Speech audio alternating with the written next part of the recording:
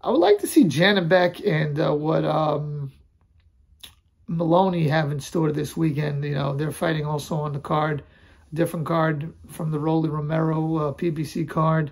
That's an interesting one. Uh, Jason Maloney, most known for his fight versus Inoue, where he got knocked out, but I think Maloney's a pretty good fighter. See a curse to see if he bounces back.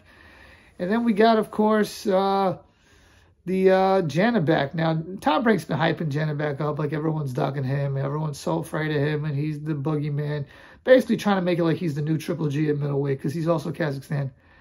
I don't really see that. I think Triple G is an all-time great middleweight. I think he was a great fighter who didn't get the opportunities that he could have gotten earlier in his career. And by the time he got them in his career, he was in close fights. And I thought that he really, you know, he beat Danny Jacobs, in my opinion. I thought he beat Canelo the first time and beat Canelo the second time, albeit close, but he did beat them, in my opinion.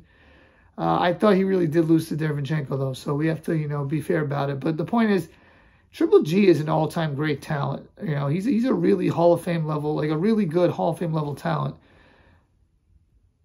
I don't know if Janibek is. You know, right now I'm going to say he's not until I see more. I haven't seen anything to make me say that. Now, the middleweight division is wide open. So I would like to see Janibek fight some of these better guys. But I'm curious to see what he has in store this weekend versus uh, Butler. But I want to see him versus Munguia. And when Charlo moves up from 154 to 160, I do like to see him do it as well. So, you know, a, a Charlo, Jermell Charlo I'm talking about, versus a Janibek fight. But I'm not ready to say he's this uh, boogeyman just yet.